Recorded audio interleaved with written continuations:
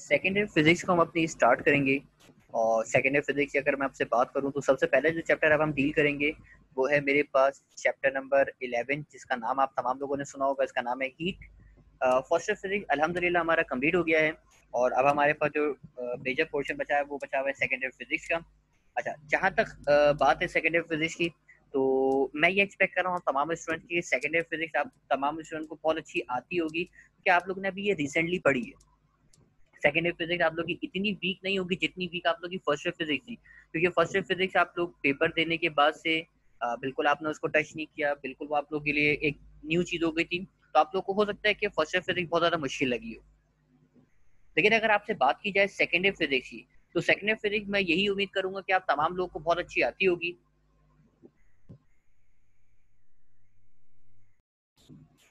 Second year physics की अगर मैं आपसे बात करूँ तो सेकेंड ईयर फिजिक्स को पढ़ाते हुए एक खास मैं आप लोग से बात शेयर करूँ इस बार मैं अपनी स्पीड को थोड़ा सा क्या करूँगा? इंक्रीज करूँगा क्योंकि फ़र्स्ट ईयर फिजिक्स है ना थोड़ा स्लो करके पढ़ाया जाता है क्योंकि अक्सर स्टूडेंट भूल जाते हैं आ, उनको बहुत सारी बातें याद नहीं होती। तो सेकेंड ईयर फिजिक्स के लिए मैं अपनी थोड़ी सी स्पीड को बढ़ाऊँगा और थोड़ा सा जल्दी कोर्स पढ़ाऊँगा। तो अब आप लोग को जो जो चीज़ बाद में प्रॉब्लम होती रहे आप मुझसे पूछ सकते हो। मुझे मैसेज करके पूछ सकते हो कि सर ये प्रॉब्लम हो गई आप हमें ये बता दीजिए मैं आप लोग की बात का जवाब दे दूँगा। तो अब आप तमाम लोग को जो प्रॉब्लम हो आप उसे डिस्कस कर सकते हो।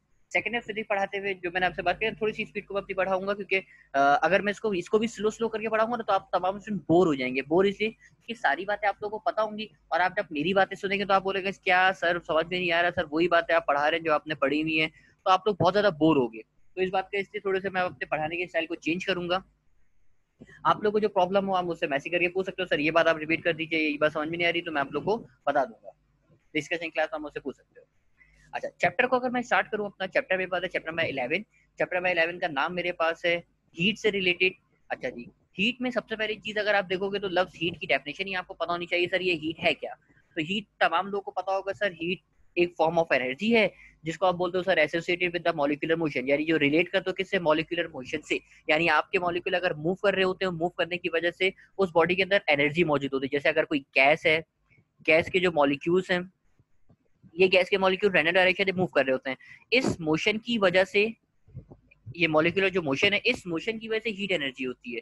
अगर इसकी मोशन रुक जाए, अगर इसकी मोशन क्या हो जाए स्टॉप हो जाए, रुक जाए, इसका मतलब जो टेम्परेचर होता है, वो टेम्परेचर हो जाता है ज़ीरो कैलविन यानी आपने पढ़ा ना सर ज़ीरो कैलविन के ऊपर सारी गैसेस की जो मॉलिक्यूल्स की मोशन होती है, वो रुक जाती है। तो वो टेम्परेचर हो जाता है आपके पास ज़ीरो कैलविन तो अब हीट की जो डेफिनेशन मैंने आपको बताई सर डेफिनेशन बड़ी सिंपल सी। डेफिनेशन आपको बताई गई कि sir heat is a form of energy associated with molecular motion आप लोगों ने एक और डेफिनेशन पढ़ी होगी कि sir total kinetic energy of the molecule यानी मॉलिक्यूल की जो टोटल काइनेटिक एनर्जी होती है, उसको आप क्या बोलते हो? हीट बोलते हो। ये दोनों बातें आप लोगों ने पढ़ी नहीं। अच्छा जी हीट के बाद अगर सेकंड चीज़ की मैं बात करूँ टेम्परेचर तो टेम्परेचर की आप लोगों ने डेफिनेशन पढ़ी हुई सर डिग्री ऑफ़ हॉटनेस और कोल्डनेस मतलब कितना ज़्यादा हॉट है या कितना ज़्यादा कोल्ड है, इस चीज़ को आप बोलते हो टेम्परेचर और टेम्परेचर के मुताबिक आप लोगों ने एक और डेफिनेशन पढ़ी है। अब इस डेफिनेशन को देखो जरा क्या लिखा हुआ है? इसमें लिखा हुआ है आपके पास एवरेज काइनेटिक एनर्जी यानी अगर आप लोग टोटल काइनेटिक एनर्जी तो वो कहलाएगी आपके पास क्या? हीट कहलाएगी।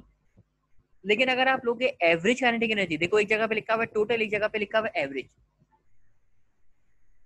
टोटल काइनेटिक एनर्जी की बात करोगे तो वो कहलाएगा हीट और अगर एवरेज काइनेटिक एनर्जी की बात करोगे तो वो क्या रहेगा आपके पास क्या? टेम्परेचर कहलाएगा। देखो, जो चीज़ें आपको समझा दी हीट भी समझा दिया टेम्परेचर भी समझा दिया। अब अगर मैं टेम्परेचर की स्केल की बात करूँ तो टेम्परेचर की स्केल आप तमाम लोगों ने सुने होंगे। सर, तीन तरह के स्केल हम लोगों ने सुने एक कहलाता है सेल्सियस स्केल एक कहलाता है फेरनहाइट स्केल और एक कहलाता है आपके पास कौन सा? कैलविन और कैलविन का दूसरा नाम होता है आपके पास कौन सा? एब्सोल्यूट स्केल यानी तीन तरह के स्केल एक है आपके पास सेल्सियस स्केल एक है आपके पास फेरनहाइट स्केल और एक है आपके पास कैलविन या फिर एब्सोल्यूट स्केल अब सवाल ये सर, ये सेल्सियस स्केल क्या होता है? तो भाई तीनों स्केल के बारे में मैं आपको बताऊँ। चाहे सेल्सियस हो, चाहे फेरनहाइट हो, चाहे कैलविन हो, इन दोनों स्केल्स के थर्मामीटर के अंदर एक लोअर फिक्स पॉइंट होता है और एक होता है आपके पास अपर फिक्स पॉइंट अब सवाल ये सर ये लोअर फिक्स पॉइंट क्या होता है अपर फिक्स पॉइंट क्या होता है दोनों चीज़ें मैं आपको बताऊँगा लेकिन मैं पहले आपको वैल्यूज़ बता दूँ कि लोअर फिक्स पॉइंट की वैल्यू क्या है और अपर फिक्स पॉइंट की वैल्यू क्या है सेल्सियस स्केल के लिए लोअर फिक्स पॉइंट की वैल्यू होती है ज़ीरो डिग्री जबकि अपर फिक्स पॉइंट की वैल्यू होती है हंड्रेड डिग्री यानी सेल्सियस के अंदर लोअर फिक्स पॉइंट की value hundred upper fix point की value sorry lower fix point की वैल्यू ज़ीरो और अपर फिक्स पॉइंट की वैल्यू हंड्रेड सिमिलरली फेरनहाइट के अंदर लोअर फिक्स पॉइंट की वैल्यू है थर्टी टू और अपर फिक्स पॉइंट की वैल्यू होती है two hundred and twelve degree तो दोनों चीज़ें मैंने आपको बताई। अच्छा जी, तीसरा स्केल लिखा हुआ है। तीसरा स्केल क्या है? तीसरा स्केल देखते हैं जरा। तीसरा स्केल यहाँ पे क्या रहा है? कैलविन तो कैलविन कहलाता है आपके पास। कैलविन का जो लोअर पॉइंट है वो होता है 273 और जो अपर फिक्स पॉइंट होता है वो होता है आपके पास 373 कैलविन अच्छा जी, अब आप सोच रहे होंगे, सर, ये तो बताइए आप, ये लोअर फिक्स पॉइंट किसको शो कर रहा है? अपर फिक्स पॉइंट किसको शो कर रहा है पता कैसे चलेगा? तो इस पॉइंट को जरा देखो। लोअर फिक्स पॉइंट वो पॉइंट होता है जो कि प्योर आइस का मेल्टिंग पॉइंट होता है। यानी वो पॉइंट जिसके ऊपर आपकी प्योर आइस मेल्ट कर जाएगी, वो टेम्परेचर है। अब देखो ना, आपने पढ़ा है ना सर आइस जिस पॉइंट पे फ्रीज होती है या आइस जिस पॉइंट पे मेल्ट होती है, वो टेम्परेचर होता है ज़ीरो डिग्री सेंटीग्रेड यानी आपने लोअर फिक्स पॉइंट के लिए स्टैंडर्ड क्या बनाया?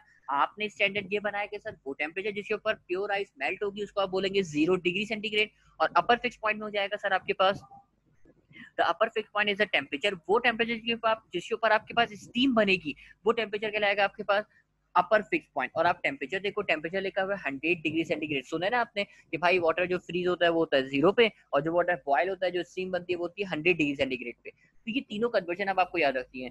यानी ज़ीरो डिग्री सेंटीग्रेड पे वाटर फ्रीज होगा, और सिमिलरली आपके पास हंड्रेड डिग्री सेंटीग्रेड पे बॉयल होगा, ऐसे ही थर्टी टू डिग्री फेरनहाइट पे आपके पास जो वाटर है वो फ्रीज होगा जबकि two hundred and twelve degree fahrenheit पे वो क्या होगा? बॉयल होगा। इसी तरीके से टू सेवेंटी थ्री कैलविन पे वो फ्रीज होगा और थ्री सेवेंटी थ्री कैलविन पे क्या होगा? बॉयल होगा। आप बोलेंगे चले सर ये तो बिल्कुल बेसिक सी बात थी। इसमें तो कोई समझने वाली बात नहीं है तो हम याद भी कर लेंगे। वैल्यूज़ हमें याद हो गई समझे आप? अच्छा इन वैल्यूज़ को अगर आपने याद कर लिया तो इन वैल्यूज़ के बाद एक फॉर्मुला मैं आपको बता रहा हूँ, जो इसकी कन्वर्जन का फॉर्मुला है। और ये फॉर्मुला आपकी हेल्प करेगा। फॉर्मुला क्या है? जरा फॉर्मुला देखिएगा। फॉर्मुला ये रहा। Degree centigrade upon hundred is equal to fahrenheit minus thirty two is equal to kelvin minus two seventy three upon hundred ये फॉर्मुला आप तमाम लोग के सामने नज़र आ रहा है। जो फॉर्मुला आप यहाँ पे देख रहे हो ना। इस फॉर्मुले की कन्वर्जन भी मैं आपको सिखाता हूँ। ये देखो डिग्री सेंटीग्रेड डिग्री फेरनहाइट और वो जाएगा आपके पास कैलविन अच्छा जी, तीनों की कन्वर्जन का फॉर्मुला है। जैसा अगर आपको डिग्री सेंटीग्रेड फेरनहाइट को करना है तो आप इस वाले केस को कंसीडर कर लोगे। अच्छा थोड़ी सी गलती है, मैं गलती सही कर दूँ। ये आपके पास 180 है। नहीं, बल्कि 180 है। अच्छा जी डिग्री सेंटीग्रेड फेरनहाइट और कैलविन तीनों की कन्वर्जन मैंने आपको सिखाई। अब अगर बेसिक सी कन्वर्जन आप करना चाह रहे हो तो इजीली कर सकते हो, किसी भी यूनिट को कन्वर्ट कर सकते हो। अच्छा आपने इसके अलावा और भी फॉर्मले पढ़े होंगे, अगर मैं डायरेक्ट लिख के दिखाऊँ ना, आप डायरेक्ट वो भी यूज़ कर सकते हो। जैसे कि आपने एक फॉर्मुला ही पढ़ा होगा सर डिग्री फेरनहाइट बराबर होता है nine upon five degree centigrade plus thirty two. अगर आपको ऐसे याद है, आप ऐसे भी सॉल्व कर सकते हो, उसमें कोई मसले की बात नहीं है। यानी डिग्री फेरनहाइट बराबर है, nine upon five degree centigrade plus thirty two के पहला फॉर्मला। और दूसरा फॉर्मला आप लोगों ने पढ़े ना, सर? कैलविन बराबर होता है degree centigrade plus two seventy three. यानी डिग्री सेंटीग्रेड के साथ अगर आप टू सेवेंटी थ्री को एड कर दोगे तो ये चीज़ हो जाती है आपके पास क्या? कैलविन। तो कैलविन का फॉर्मुला भी आप अगर डायरेक्ट याद है, आप ऐसे भी कर सकते हो कि सर यहाँ पे डायरेक्ट आप डिग्री सेंटीग्रेड की वैल्यू रखिए सॉल्व कीजिए मल्टीप्लाई कीजिए और आंसर निकाल दीजिए जैसे अगर मैं आपको एक कन्वर्जन चलो सिखा दूँ सपोज़ करो मुझे बताओ 50 डिग्री सेंटीग्रेड कितने डिग्री फेरनहाइट के बराबर होगा? तो आप बोलेंगे, सर, ये देखिए डिग्री फेरनहाइट में चाहिए ना तो ये हो जाएगा नाइन अपॉन फाइव बराबर में लिखा हुआ है डिग्री सेंटीग्रेड है। तो आप बोलेंगे, सर डिग्री सेंटीग्रेड की जगह पे यहाँ पे आ जाएगा आपके पास क्या? फिफ्टी और प्लस हो जाएगा आपके पास कौन? थर्टी टू अब आप कैंसिलेशन कर लीजिए। कैंसिलेशन क्या करोगे आप बोलेंगे? सर देखिए five one the five ten fifty आप बोलेंगे, सर, बात तो आसान है। Five one five ten nine को टेन से मल्टीप्लाई करोगे, जाएगा प्लस थर्टी टू में थर्टी टू को करोगे तो आंसर आ जाएगा one twenty two degree fahrenheit यानी आपने कन्वर्ट किया, आप सिंपल ये फॉर्मुला भी इस्तेमाल कर सकते हो। Degree fahrenheit is equal to nine upon five degree centigrade plus thirty two value रखो सॉल्व कर लो। और जहाँ तक बात है एनईडी के टेस्ट की तो एनईटी के टेस्ट में तो कैलकुलेटर क्योंकि अलाउ है, और कैलकुलेटर अलाउ होने की वजह से आप कैलकुलेटर की मदद से भी डायरेक्ट कन्वर्जन कर सकते हो टेम्परेचर को कैसे कन्वर्ट किया जाता है वो तो कैलकुलेटर के बैक कवर के ऊपर लिखा हुआ है उम्मीद करता हूँ तमाम लोग को ये बात पता होगी। अगर पता ना हो तो आप मुझसे फिर पर्सनल में पूछ सकते हो, मैं आपको बता दूँगा। अच्छा जी, अब इस बात को मजीद आगे बढ़ाते हैं, और आगे जाके देखते हैं। जी एनईडी के टेस्ट में जो साइंटिफिक कैलकुलेटर है वो अलाउ होता है, अगर आप में से किसी को नहीं पता तो वो बात को मेरे सुन ले कि एनईडी टेस्ट के अंदर आपको साइंटिफिक कैलकुलेटर अलाउ होगा और जो भी कन, कन, जो भी कन्वर्जन होंगी कैलकुलेशन होंगे वो आप इजिली कर सकते हो।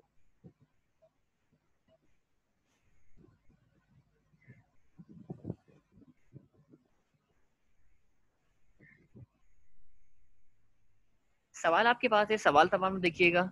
सवाल पढ़ के मैं सवाल आपको चेंज करना सिखाऊं जरा तमाम सवाल को देखिएगा सवाल को किस तरीके से सॉल्व किया जाएगा।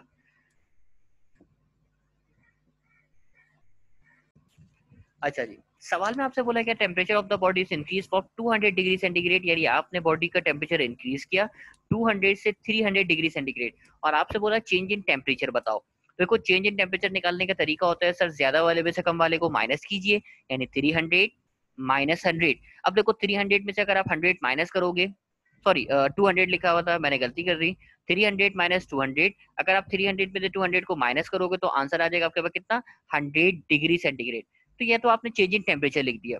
अब चेंज इन टेम्परेचर आपको डिग्री सेंटीग्रेड में नहीं दिया हुआ, बल्कि किसमें दिया हुआ है? कैलविन में दिया हुआ है। और एक बात आप याद रखना, ये बात तो आप तमाम लोगों ने पढ़ी होगी, सर चेंज इन टेम्परेचर आपके पास जितना डिग्री सेंटीग्रेड में होता है, उतना ही किसमें होता है? कैलविन में। ये बात आप तमाम लोगों को याद रखनी है, भाई। चेंज इन टेम्परेचर सेम होता है, यानी जितना डिग्री सेंटीग्रेड में होगा, उतना ही किसमें होगा? कैलविन में होगा। यानी चेंज इन टेम्परेचर आप चाहे हंड्रेड डिग्री सेंटीग्रेड लिखो या फिर चाहे क्या लिखो हंड्रेड कैलविन एक ही बात है, यानी जो करेक्ट जवाब होगा, वो करेक्ट जवाब क्या होगा? ऑप्शन नंबर बी लेकिन कुछ लोग ऐसा सोच रहे होंगे कि, सर, ये देखिए चेंज इन टेम्परेचर कैलविन में चाहिए तो कैलविन में करने के लिए प्लस कर देंगे 273 और जवाब हो जाएगा हमारे पास कितना? 373 कैलविन तो ये तरीकेकार गलत है। क्यों? क्योंकि चेंज इन टेम्परेचर जितना डिग्री सेंटीग्रेड में होगा, उतना ही आपके पास किसमें होगा? कैलविन के अंदर होगा। तो इस वजह से इस बात को आप अपने जहन में रखना, तमाम लोग। अच्छा इसी बात को देखते हुए मजीद आगे बढ़ते हैं। और एक सवाल आपसे अब जो शेयर करना था उससे पहले थर्मामीटर के बारे में कुछ बात करते थर्मामीटर होता क्या है? तमाम जरा इसकी डेफिनेशन पड़ेगा थर्मामीटर की डेफिनेशन क्या लिखी?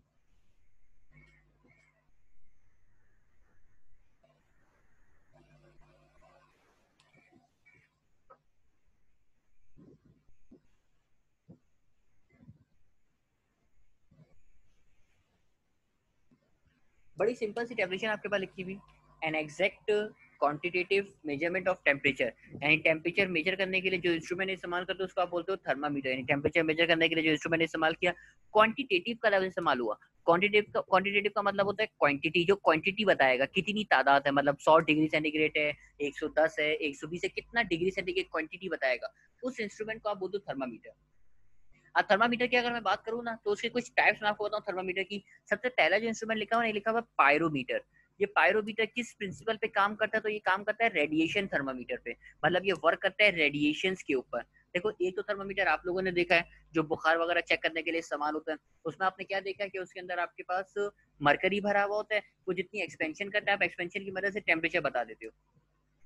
अब पहला जो नाम लिखा ना, ये लिखा है पायरोमीटर। तो पायरोमीटर वर्क करता है रेडिएशन थर्मामीटर पे और ये इस्तेमाल होता है 1600 डिग्री सेंटीग्रेड से ज़्यादा के टेम्परेचर को मालूम करने के लिए। यानी ये बहुत ज़्यादा हाई टेम्परेचर के लिए इस्तेमाल होता है। अगर मैं आपसे सिंपल बात करूँ ना, इस वक्त जो आपका टेम्परेचर होगा, वो तकरीबन होता है thirty three degree centigrade. Normal human body का तकरीबन थर्टी थ्री पॉइंट एट होता है एग्जैक्ट अगर मैं बताऊँ। लेकिन अब वो इतना कम टेम्परेचर नहीं, आपके पास सिक्सटीन हंड्रेड डिग्री सेंटीग्रेड से अगर ज़्यादा टेम्परेचर हो तो आप पायरोमीटर इस्तेमाल करते हो, पायरोमीटर वर्क करता है किस पे रेडिएशन थर्मामीटर इसकी एक मतलब पार्ट है। सेकंड लिखा हुआ आपके पास मरकरी थर्मामीटर तो मरकरी थर्मामीटर आप बोलेंगे, सर, ये तो बड़ी आसान सी बात मरकरी थर्मामीटर है तो वर्क करेगा किस पे? मरकरी पे। और इसकी रेंज लिखी हुई है। इसी रेंज है माइनस थर्टी नाइन से लेकर कहाँ तक? 367 डिग्री सेंटीग्रेड तक। यानी मरकरी की टेम्परेचर मरकरी थर्मामीटर की जो रेंज है, वो रेंज आपके सामने लिखी। और रेंज मैंने बताई, सर, इसकी रेंज है माइनस थर्टी नाइन से लेकर कहाँ तक? Three sixty seven degree centigrade तक। और थर्ड नंबर पे आपके पास अगर मैं इसकी पार्ट बताऊँ तो ये मेरे पास प्लेटिनियम रेजिस्टेंस थर्मामीटर आप बोलेंगे, सर, देखिए, लफ्ज खुद बता रहा है प्लेटिनियम रेजिस्टेंस यानी ये इलेक्ट्रिकल थर्मामीटर है ये रेजिस्टेंस के ऊपर वर्क कर रहा है। और ये इस्तेमाल करते हैं हम माइनस टू सिक्सटी से लेकर, यानी माइनस दो सौ साठ से लेकर कहाँ तक? बारह सौ डिग्री सेंटीग्रेड तक। तो ये इस टेम्परेचर रेंज तक इस्तेमाल होगा। अब आपसे एमसीक्यू में पूछ सकते हैं, वैसे पूछता नहीं है ऐसा एमसीक्यू लेकिन पूछा जा सकता है। कि भाई, अगर 1600 1600 डिग्री सेंटीग्रेड से ज़्यादा टेम्परेचर मेजर करना है तो कौन सा इस्तेमाल करोगे? वहाँ पे आप मरकरी इस्तेमाल नहीं कर सकते प्लेटिनियम रेजिस्टेंस इस्तेमाल नहीं कर सकते, वहाँ पे इस्तेमाल करोगे कौन सा? पायरोमीटर इस्तेमाल करोगे। तो ये कुछ थर्मामीटर की टाइप्स हो गई, आपके पास तीनों टाइप्स मैंने आपको बता दी। अच्छा जी, अब एक एमसीक्यू आपके सामने आ रहा है, तमाम लोग इस एमसीक्यू को देखिएगा और मुझे इसका जवाब देने की कोशिश कीजिएगा, इसका जवाब क्या हो सकता है?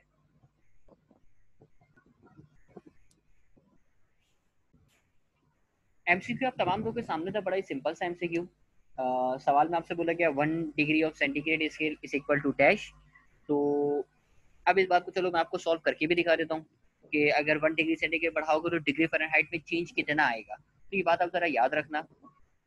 चलो मैं आपको करके भी दिखाता हूँ। एक जगह मेरे पास है ज़ीरो डिग्री सेंटीग्रेड और एक जगह मेरे पास है कितना? वन डिग्री सेंटीग्रेड मैंने दोनों तरफ़ लिख के दिखा दिया, सर। एक तरफ़ है मेरे पास ज़ीरो डिग्री सेंटीग्रेड एक तरफ़ है मेरे पास कितना वन डिग्री सेंटीग्रेड अगर इन दोनों टेम्परेचर को चेंज करोगे डिग्री सेंटीग्रेड के अंदर तो चेंज आता है, वो चेंज तो होता है मेरे पास वन डिग्री सेंटीग्रेड सही? जो चेंज आएगा, वो चेंज होगा वन डिग्री सेंटीग्रेड अच्छा जी। अब डिग्री फ़ारेनहाइट का जो फॉर्मूला है, वो फॉर्मूला क्या है? Degree fahrenheit is equal to 1.8 degree centigrade plus 32 ये मेरे पास फॉर्मूला है। अब इस फॉर्मूले में देखो जो फैक्टर आपके पास ऐड हो रहा है ना, वो फैक्टर क्या हो रहा है? वो फैक्टर आपके पास कितना? 1.8 अब इस 1.8 वाली बात को मैं अपना और जस्टिफाई करता हूँ। देखो ज़ीरो डिग्री सेंटीग्रेड को मैं डिग्री हाइट में कन्वर्ट करता हूँ। तो आप बोलेंगे, सर, ये देखिए degree fahrenheit is equal to 1.8 अगर आप इसको कन्वर्ट करेंगे तो सर, ये हो जाएगा 1.8 डिग्री सेंटीग्रेड प्लस 32 आप डिग्री सेंटीग्रेड की जगह पे रख देंगे ज़ीरो तो प्लस 32 करेंगे तो आंसर आ जाएगा आपके पास कितना? 32 डिग्री फ़ारेनहाइट अच्छा अब इस वन वाले को भी कन्वर्ट कीजिए, आप बोलेंगे, सर, अगर वन वाले को कन्वर्ट करेंगे तो जवाब हो जाएगा हमारे पास degree fahrenheit is equal to 1.8 degree centigrade plus 32 ये हो जाएगा सर डिग्री सेंटीग्रेड की जगह पे वन आ जाएगा प्लस का 32 वन से अगर आप इसको मल्टीप्लाई करोगे तो ये तो 1.8 ही रहेगा, बराबर हो जाएगा 32 और दोनों को ऐड कर दोगे तो आंसर आ जाएगा 32.8 डिग्री फ़ारेनहाइट अच्छा जी, आप बोलेंगे, चले सर ये बात भी अब हमारी, आपकी समझ में आ गई। सर आपने दोनों डिग्री सेंटीग्रेड को कैलविन में कर दिया। अब चलो पहले डिग्री सेंटीग्रेड वाला चेंज निकाल के देखते हैं। तो डिग्री सेंटीग्रेड वाला अगर चेंज निकाल के देखोगे डिग्री सेंटीग्रेड में चेंज कितना आ रहा है तो वो चेंज मैं आपको निकालना सिखाऊं। ये देखो डिग्री सेंटीग्रेड में अगर आपको चेंज चाहिए तो सर ज़्यादा वाले में से कम वाले को माइनस कीजिए। जैसे वन माइनस ज़ीरो तो सर दोनों को माइनस करेंगे तो आंसर आ जाएगा वन डिग्री सेंटीग्रेड। और डिग्री फ़ारेनहाइट वाले को माइनस कीजिए तो आप बोलेंगे, सर, ये देखिए thirty three point eight minus thirty two और दोनों को जब माइनस करोगे तो आंसर आ जाएगा कितना? 1.8 डिग्री फ़ारेनहाइट तो देखो, बिल्कुल बेसिक सी बात है, तमाम लोगों ने ये पढ़ी भी होगी बात। कि सर अगर आप दोनों को माइनस करेंगे तो सिंपल आपने टेम्परेचर निकाल लिया। अब आप देखो, आपने डिग्री सेंटीग्रेड कितना बढ़ाया। आप बोलेंगे, सर, हमने डिग्री सेंटीग्रेड बढ़ाया वन डिग्री सेंटीग्रेड लेकिन डिग्री फ़ारेनहाइट में चेंज कितना आया? आप बोलेंगे, सर डिग्री डिग्री फ़ारेनहाइट में चेंज आया 1.8 यानी अगर आप वन डिग्री सेंटीग्रेड बढ़ाते हो तो डिग्री फ़ारेनहाइट में जो चेंज आता है, वो चेंज कितना आता है? 1.8 आता है। तो इस एमसीक्यू को आप तमाम लोग याद करना। पेपर में आप सॉल्व नहीं करना। अब आपको ये बात याद होनी चाहिए कि भाई, अगर एक डिग्री सेंटीग्रेड बढ़ाओगे जो फ़ारेनहाइट में चेंज आता है, वो फ़ारेनहाइट में चेंज कितना आता है? 1.8 डिग्री फ़ारेनहाइट आता है। अच्छा 1.8 एक और चीज़ के बराबर होता है।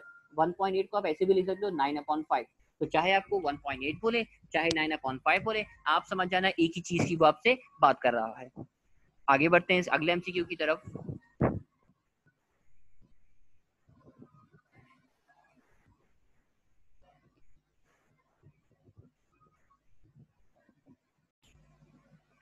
अच्छा जी, आगे बढ़ते अपनी बात को आगे बढ़ाते हैं। अब आपसे बोल रहा था temperature at which degree centigrade and degree fahrenheit side ये सवाल तो बड़ा मशहूर सवाल है, और तमाम लोगों को मेरे ख्याल में इसका जवाब भी आता होगा। इसका जवाब क्या होना चाहिए?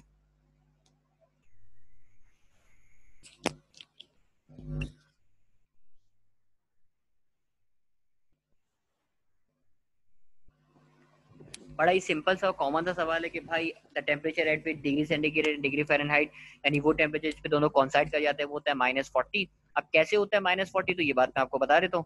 जल्दी से इस बात को देख लेते हैं भाई, बड़ी आसान सी बात है ये तो। डिग्री फ़ारेनहाइट का फॉर्मला होता है degree fahrenheit is equal to 1.8 degree centigrade plus 32 ये आपके पास फॉर्मूला है।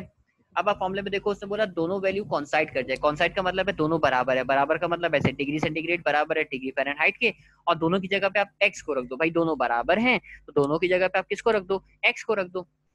ये हो जाएगा x is equal to one point eight times of x plus का 32 अब देखो, इसको सॉल्व करोगे 1.8 एक्स को लेफ़्ट पे बुलाओगे तो जाएगा x minus one point eight times of x is equal to 32 दोनों को अगर आप माइनस करोगे तो आंसर आ जाएगा माइनस का 0.8 x is equal to 32 0.8 multiply हो रहा है राइट पे लाके आप डिवाइड कर दोगे तो जवाब आ जाएगा मेरे पास sir x is equal to 32 divided by minus का 0.8 और 32 को 0.8 से डिवाइड करोगे तो आंसर आ जाएगा माइनस फोर्टी, यानी वो टेम्परेचर जिसपे दोनों कॉन्साइड करते हैं वो कितना होता है? माइनस फोर्टी होता है। टेक्निक आप याद रखो, लेकिन पेपर के हवाले से इस बात को डायरेक्ट आपके जहन में होनी चाहिए कि भाई वो टेम्परेचर जिसपे दोनों कॉन्साइड करेंगे वो आपके पास कितना है?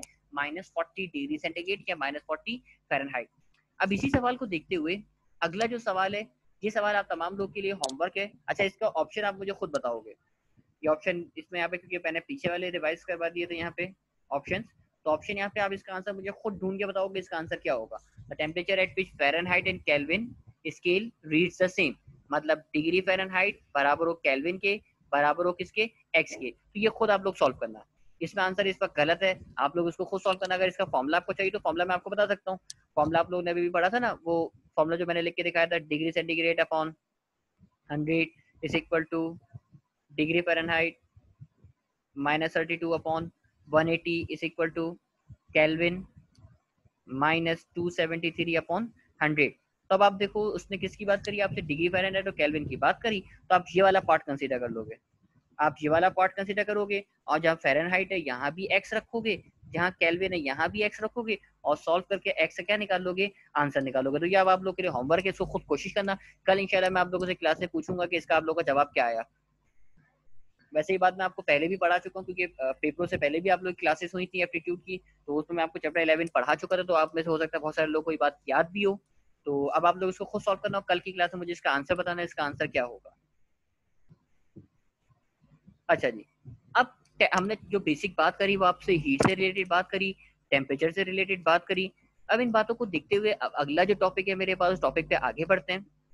और अगला टॉपिक मेरे पास है मोड्स ऑफ़ हीट ट्रांसफ़र छोटी सी बेसिक सी बात है मोड ऑफ़ हीट ट्रांसफ़र की मुझे आप लोगों से बात करनी है। आप लोगों ने कितने हीट ट्रांसफ़र के मोड पढ़े तो शायद आपको नाम याद हो। आपने एक पढ़ा होगा कंडक्शन एक आपने पढ़ा होगा कन्वेक्शन और एक आपने पढ़ा होगा रेडिएशन नाम ज़रूर सुने होंगे। मैट्रिक क्लास में शायद पढ़ा हो और अगर पढ़ा नहीं होगा तो आप लोगों ने इसके नाम सुने होंगे, यानी कंडक्शन कन्वेक्शन और रेडिएशन अब क्या होता है कंडक्शन जल्दी से बेसिक से मैं बात करूँ आपसे। कंडक्शन कहलाता है आपके पास? It is a process in which heat is transferred from atom to atom without the movement of a substance क्या मतलब है इसका? कंडक्शन के अंदर क्या होता है? कंडक्शन की अगर मैं आपको एग्ज़ाम्पल दूँ और एग्ज़ाम्पल की सूरत में मैं आपको बना के भी दिखाऊँ सपोज़ uh, करो आपके पास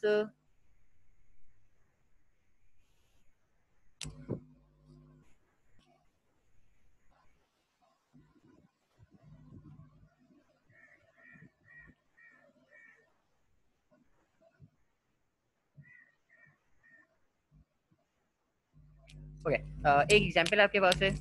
एक आपके पास ये स्टील का कंटेनर है। आपने इसको हीट करना शुरू किया सही? है और इसके अंदर यहाँ वाटर पड़ा हुआ है सही? इसके अंदर यानी स्टील के कंटेनर के अंदर आपके पास वाटर है आप इसको हीट कर रहे हो। तो अक्सर क्या होता है कि खाना बनाते बनाते आप लोग अपना जो चम्मच होता है इसको इस बर्तन में छोड़ देते हैं। तो क्या होता है कि जैसे आप अचानक से चम्मच को हाथ लगाते हैं तो आपका हाथ एकदम से जल जाता है या आपको बहुत ज़्यादा हीटअप महसूस होता है। अब क्या होता है? हीट ट्रेवल कैसे करती है? अगर मैं स्पून की आपसे बात करूँ ना स्पून चलो मैं स्पून बना के आपसे बात भी करता हूँ इसको समझाऊं भी। अब हीट ट्रेवल कैसे करती है, होता क्या है? आपके जो मॉलिक्यूल्स है ना हीट के सपोज़ करो वाटर का लेवल यहाँ तक का था। वाटर का लेवल से यहाँ तक का था, अब क्या होगा? यहाँ से हीट एंटर होना शुरू हुई, एक एंड से, यहाँ से हीट एंटर हुई। अब देखो ये जो स्पून है ना, इसके अंदर भी एटम्स मौजूद होंगे, और ये एटम्स क्या कर रहे होते हैं? वाइब्रेट कर रहे होते हैं। सपोज़ करो एक ही एटम दूसरा ही एटम तो पहला एटम वाइब्रेट हुआ, दूसरे वाले एटम से टकराया, और अपनी हीट एनर्जी इसको ट्रांसफ़र कर दी। अब ये दूसरा वाला एटम आगे वाले एटम से टकराया और अपनी हीट एनर्जी उसको ट्रांसफ़र कर दी। यानी अब यहाँ पे आपका मॉलिक्यूल हकीकत में मतलब आपका मॉलिक्यूल एक्चुअल मूवमेंट नहीं कर रहा, बल्कि वो अपनी एनर्जी को क्या कर रहा है? ट्रांसफ़र कर रहा है। यानी एक एटम दूसरे को ट्रांसफ़र करता है, दूसरा तीसरे को करता है, तीसरा चौथे को करता है और होते होते होते बिल्कुल लास्ट तक आपकी जो हीट एनर्जी है, वो पहुँच जाती है। तो यही तो कंडक्शन है बता रहे आपसे। ऐसा प्रोसेस जिसके अंदर हीट अगर ट्रांसफर्ड हो from one item to another atom यानी एक एटम से दूसरे एटम पे विदाउट द मूवमेंट यानी वो सब्सटेंस मूव नहीं करेगा, बल्कि एटम अपने वाइब्रेशन की मदद से अगर हीट को ट्रांसफ़र करें तो उस मोड को आप बोलते हो क्या? कंडक्शन बोलते हो। ये सिंपल सी मैंने आपसे बात करी कंडक्शन की। अच्छा कंडक्शन के बारे में एक और पॉइंट लिखा हुआ कि भाई conduction occur different rate in different material her material का अलग अलग कंडक्शन रेट होता है। कोई ज़्यादा जल्दी हीट अप हो जाता है, कोई देर से हीट अप होता है, जैसे वुड की कंडक्शन बहुत कम होती है, यानी वुड बहुत देर से हीट अप होता है, उसकी कंडक्शन की वैल्यू कम है, जबकि स्टील या आयरन है, उसकी कंडक्शन की वैल्यू ज़्यादा होती है वुड के मुकाबले में। सेकेंड नंबर पे जो चीज़ लिखी हुई है कन्वेक्शन है। अब देखो कन्वेक्शन की डेफिनेशन अगर पढ़ोगे ना तो सेम डेफिनेशन सिर्फ़ क्या फ़र्क है?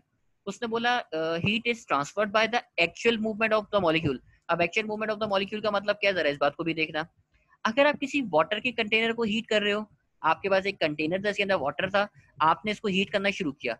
जब आप इसको हीट करोगे ना होगा क्या? होगा ये कि भाई पहले तो नीचे वाले मॉलिक्यूल हीटअप होंगे। जो नीचे वाले मॉलिक्यूल हीटअप होंगे जैसे जैसे मॉलिक्यूल हीटअप होते रहेंगे तो नीचे वाले मॉलिक्यूल ऊपर की तरफ़ जाते रहेंगे यानी जो गर्म होंगे वो ऊपर की तरफ़ जाते रहेंगे और जो ठंडे होंगे वो कहाँ आते रहेंगे? नीचे की तरफ़ आते रहेंगे। यानी जो जैसे जैसे हीटअप होते रहेंगे वो मॉलिक्यूल ऊपर की तरफ़ जाते रहेंगे और जो मॉलिक्यूल ठंडे हो, होंगे वो कहाँ पे आते रहेंगे? नीचे की तरफ़ आते रहेंगे। अब आप देखो इस केस में आपके जो मॉलिक्यूल हैं ये यानी इस केस में आपकी जो मॉलिक्यूल है वो मूवमेंट कर रहे हैं एक्चुअल मूवमेंट हो रही है मॉलिक्यूल्स की। इस तरह का अगर ट्रांसफ़र हो तो इसको आप बोलते हो कन्वेक्शन इसकी मिसाल भी मैं आपको दूँ। अक्सर क्या होता है स्विमिंग पूल वगैरह में आ, कभी आप समंदर वगैरह में गए या स्विमिंग पूल में गए अक्सर फार्म हाउस पे होता है कि आप नाइट स्टे करो सुबह उठ के आप स्विमिंग पूल के पास जाओ। तो स्विमिंग पूल के आप हल्का सा पैर लगा के देखोगे तो आपको इफ़ेक्ट महसूस होगा कि ऊपर का टेम्परेचर आपको पानी का कुछ और नज़र आएगा। यानी ऊपर का पानी आपको गर्म लग रहा होगा, आप बोलेंगे, सर, वाह, सर थोड़ा सा पानी में चाहिए लेकिन जैसे ही आप नीचे की तरफ़ जाओगे तो आपको पानी जो है ना, वो ठंडा महसूस होगा। यानी जो हल्के, ठंडे मॉलिक्यूल होंगे, वो आपके नीचे की तरफ़ आते रहेंगे और जो हीट अप होने वाले मॉलिक्यूल होंगे, जो गर्म मॉलिक्यूल होंगे, वो कहाँ जाते रहेंगे? ऊपर की तरफ़ जाते रहेंगे। तो एग्ज़ाम्पल आपने एक्सपीरियंस की है स्विमिंग पूल के अंदर भी। यानी पानी की जो मॉलिक्यूल है, वो एक्चुअल मूवमेंट करते हैं। तो अगर एक्चुअल मूवमेंट करेंगे तो वो चीज़ कहलाएगी आपके पास कन्वेक्शन दो चीज़ें हो गई। एक हो गया कंडक्शन एक हो गया आपके पास कन्वेक्शन अच्छा it is speculative fluids that is liquid और गैसेज आमतौर पे जो होती हैं, ये लिक्विड्स के अंदर होती हैं और गैसेस के अंदर होती है। यानी कन्वेक्शन जो है आमतौर पे लिक्विड और गैसेस के अंदर होती है। जबकि कंडक्शन आपके पास किसके अंदर होती है? कंडक्शन की अगर मैं बात करूँ तो कंडक्शन आमतौर पे किसके अंदर होती है? सॉलिड्स के अंदर होती है। अच्छा जी, अब तीसरी जो चीज़ है, तीसरी चीज़ है मेरे पास रेडिएशन रेडिएशन क्या तो आप बोलेंगे, सर, ऐसा प्रोसेस जिसमें हीट को ट्रेवल करने के लिए मीडियम रिक्वायर्ड ना हो which does not required medium for propagation यानी जिसको ट्रेवल करने के लिए मीडियम रिक्वायर्ड नहीं है तो वो चीज़ कहलाती है आपके पास क्या? रेडिएशन तो तीन तरह के प्रोसेस से तीनों मैंने आपको बताया। मेरा नहीं ख्याल, यहाँ पे आप लोग कोई प्रॉब्लम होगी। मोड ऑफ़ हीट ट्रांसफ़र के बाद आगे बढ़ते हैं। अच्छा रेडिएशन की बात रह थी वो पहले कंप्लीट कर दूँ कि in this process heat is carried by infrared electromagnetic radiation यानी जिन रेडिएशन की मदद से हीट ट्रैवल करती है। सन uh, की भी जो रेडिएशन हम लोग तक आ रही है ना वो मेनली कंसिस्ट करती है किसमें? इंफ्रारेड रेडिएशन पे। जबकि अल्ट्रा वायलेट रेडिएशन होती है जो आप लोगों ने पढ़ा है ना ओजोन लेयर होती है वो उसको रोक लेती है। और जबकि इंफ्रारेड पास होकर आ जाती है जिसकी वजह से हीट एनर्जी हम लोगों तक पहुँचती है। अच्छा जी। अब जो मेरे पास टॉपिक है मेरे पास गैस लॉस से रिलेटेड है। बड़ा आसान सा टॉपिक है। आप तमाम लोगों ने लॉस सारे पढ़े हुए होंगे केमिस्ट्री में भी आप लोगों ने पढ़े होंगे फ़र्स्ट ईयर केमिस्ट्री के अंदर सेकेंड ईयर फिजिक्स के अंदर भी आप लोगों ने पढ़े होंगे, और मैट्रिक क्लास में भी आप लोगों ने फिजिक्स के अंदर पढ़े और आज फिर आप लोग एप्टीट्यूड में पढ़ने का मौका मिल रहा है गैस लॉस के मुताबिक। बड़े आसान आसान से लॉस है, तमाम लोग को आते भी होंगे। पहले अगर मैं लॉ का नाम बताऊँ तो आप बोलेंगे, सर, बड़ा ही आसान सा लॉ लॉ का नाम है मेरे पास बॉयज़ लॉ तो आपको याद होगा, सर बॉयज़ लॉ में किस किस के दरमियान रिलेशन था? तो आप बोलेंगे, सर, अरे, सर बॉयज़ लॉ में हमारे पास रिलेशन था वॉल्यूम और प्रेशर का। यानी वॉल्यूम ऑफ़ प्रेशर दोनों का जो आपस में रिलेशन है, ये रिलेशन कैसा होता है? इनवर्स होता है। मैंने इसको लिख के भी दिखाया। एट कॉन्स्टेंट टेम्परेचर यानी कॉन्स्टेंट टेम्परेचर हो अगर, और फिक्स नंबर ऑफ़ मॉलिक्यूल्स हो तो जो वॉल्यूम का रिलेशन है प्रेशर से वो कैसा है? इनवर्सली यानी वॉल्यूम और प्रेशर का आपस में रिलेशन कैसा है? इनवर्स है। इस बात को अगर मैं लिख के भी दिखाऊँ, आपको इस तरीके से लिखोगे? V inverse equal to P यानी वॉल्यूम ऑफ़ प्रेशर का आपस में रिलेशन इनवर्ट फिर आप लोगों ने पढ़ा ना सर प्रोपोर्शन हटा के हम क्या लगा देते हैं? कांस्टेंट लगा देते हैं। तो मैंने प्रोपोर्शन हटा के यहाँ पे लगा दिया। कांस्टेंट तो ये बन गया v is equal to k upon p इस p को v से मल्टीप्लाई कर दिया। तो पी वी बराबर किसी हो गया? कांस्टेंट के यानी दो चीज़ों को अगर मल्टीप्लाई करो, दो चीज़ें मल्टीप्लाई हुई ना मल्टीप्लाई को बोलते हो प्रोडक्ट तो प्रोडक्ट किस किस का? आप बोलेंगे sir product of pressure and volume यानी product of pressure and volume बराबर होता है के और के का मतलब आपके पास क्या है? कांस्टेंट यानी product of pressure and volume is equal to constant तो इसको एक और स्टेटमेंट की सूरत में लिख सकते हैं। बॉयज़ तो अगर आप लिखना चाहो, वो क्या लिखोगे सर वो ये बनेगी at constant temperature and for fix number of molecule the product of यानी प्रोडक्ट अगर आप लोग किस किस का प्रेशर और वॉल्यूम का तो ये जो चीज़ आएगी, वो क्या आएगी? कांस्टेंट आएगी। अब अगर मैं आपसे इसका ग्राफ बनाने को बोलूँ तो बड़ी आसान सी बात प्रेशर और वॉल्यूम तो देखो, दोनों का आपस में जो रिलेशन है, ये रिलेशन है इनवर्स और जब भी दो चीज़ों का रिलेशन अगर इनवर्स हो बात को याद रखना। जब भी दो रिले, दो चीज़ों का रिलेशन अगर इनवर्स हो तो जो ग्राफ बनता है, वो ग्राफ हमेशा क्या बनता है? हाइपरबोला बनता है। यानी दो चीज़ों के दरमियान अगर रिलेशन इनवर्स होगा तो जब भी आप ग्राफ बनाओगे, वो ग्राफ कैसा बनेगा? हाइपरबोला बनेगा। यानी आपने ग्राफ बनाया और ग्राफ आपको शो कर रहा है किसको हाइपरबोला को। तो बॉयस लॉ का पीवी ग्राफ शो करता है मतलब जो उसकी नेचर है, वो हाइपरबोलिक नेचर है। अच्छा यही ग्राफ अगर आपसे मैं बनवाऊं, अब देखो प्रेशर की जगह मैंने कर दिया वन अपॉन पी और वॉल्यूम आपके पास सेम रहा। आप बोलेंगे, सर, अब आप ग्राफ बना रहे हैं वॉल्यूम और वन अपॉन पी भाई रिलेशन तो ये था वॉल्यूम और वन अपॉन पी अब आप देखो, आपका जो वी नज़र आ रहा है, ये एक पूरी चीज़ है और जो वन अपॉन पी नज़र आ रहा है, ये भी एक पूरी चीज़ है। अब इन दोनों का आपस में रिलेशन कैसा हो गया? डायरेक्ट हो गया, क्योंकि भाई वॉल्यूम भी एक पूरी चीज़ डायरेक्ट रिलेशन और वन अपॉन प्रेशर भी पूरी की पूरी एक चीज़ है, क्योंकि आपने वन अपॉन पी को प्लॉट किया हुआ है। अब देखो, इन दोनों का ग्राफ डायरेक्ट है या इनवर्स है? आप बोलेंगे, सर, अब इन दोनों का जो ग्राफ आ रहा है, वो डायरेक्ट आ रहा है। क्यों?